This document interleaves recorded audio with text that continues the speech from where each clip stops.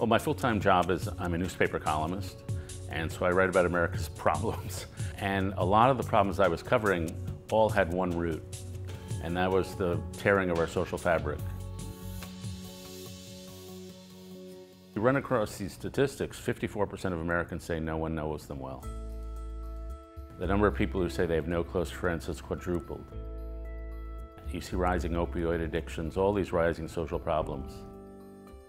Our nation right now is being faced with what I would call the silent crisis, and it's the crisis of trust. But there are people, which we call weavers, who are out there rebuilding trust, rebuilding communities. Weave origins happened by David Brooks. David was invited to a Thursday night dinner at a family, and he saw how this family was showing up for the young people around the table. I walk in the room, and there's 40 people around the table, mostly high school age, a bunch of mattresses for the kids who were staying over. And we formed this little forged family for the next five years. So I ate with them every Thursday night. We took vacations together. That was my experience of weaving. Well, I didn't even know what a weaver was, but I was in the middle of a couple of them. And he goes, there has to be something to that. Like, are there other people who are doing this? And so the purpose of Weave was like, what can we do to help these people out? What can we do to get more people to be weavers? Where the Aspen Institute is about convening people. And so I said, you bring people together.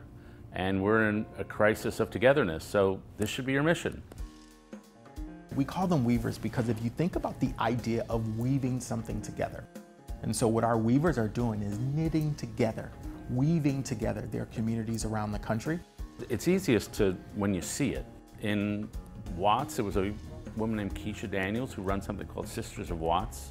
Just a bunch of moms who, when a kid has, needs some food for, to take home, they give them a backpack full of food. One of the weavers that we found really inspiring is Megan Helberg from Taylor, Nebraska. She's one of the educators who left to go get a college degree in a big city, but decided to come back home because she felt this inkling to come back and help make the place she grew up better. One of the things that I find true of educators is this skill of seeing others and being deeply seen, something teachers are just good at.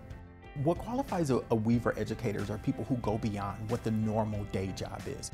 I have a friend who says teaching is a community of truth. We're in the classroom together and we're trying to find the truth together. It's not me lecturing at you, it's we're discovering together. Turning a classroom into a community is, is what teachers are all about. Another inspiring Weaver educator is Heidi Maxey in Hawaii. Heidi saw that the students at our school had a myriad of issues um, and through an angel fund started picking up all these projects to help support the needs. So if you go to our high school, you'll see um, clothing, um, you'll see a place for young people to decompress, you'll see all these different projects all meeting the needs of her community, which is the school. Our theory is that culture changes when a small group of people find a better way to live and the rest of us copy. And so if you read about a story about a weaver or, or see a video about a weaver, you think, wow, that's an amazing person. I may be that not, not that amazing, but I can be a little more amazing. And then the second thing Weave tries to do is we give them resources. We have these things called Weaver Awards. We launched a project in Baltimore um, last year um, to give funding, micro grants to local weavers so that they can do their work without a lot of the hassle. And they're not large grants, but enough to make a difference in a small organization. And then a lot of weavers, a lot of people are really building community, they're exhausted. So many community needs are thrust in their lap. They often don't have anybody to talk to. Uh, nobody's trained them to do this work.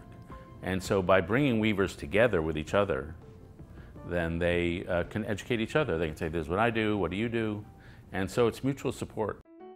There's a woman named Sarah Hemminger who runs an organization called Thread in Baltimore, which is sort of a community organization to surrounding teenagers in, in Baltimore. And she leapt into action and started this food bank and this food distribution network. And I talked to her, this was early COVID, and she said, I was born for this. I look at the young generation, the, the group that was most enthusiastic about Weave, as we would present it, was high school students. And they're at a point in their life where they want to contribute, they're filled with moral passion, and they get the crisis of connection firsthand. There's a lot of loneliness and rivalry in high school. Incredibly hope giving. I took on this role last two years ago at the top of the pandemic. But as our work persisted, um, I started hearing the stories of people who are really figuring out how to show up for people. And I think, in a way, has reminded me of, of the responsibility I have to show up for people and not just where I work, but also what I do after work as well. Those of us in journalism, we think our job is to explain how bad everything is and not focus on the people who are fixing it. But what gives me hope is the fact that those people are just sprinkled throughout society of all different types and shapes and colors and creeds, and they're out there.